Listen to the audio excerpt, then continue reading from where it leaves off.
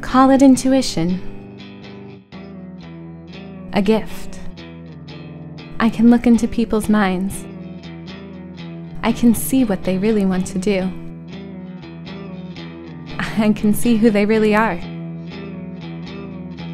But one thing I never expected to see was an angel.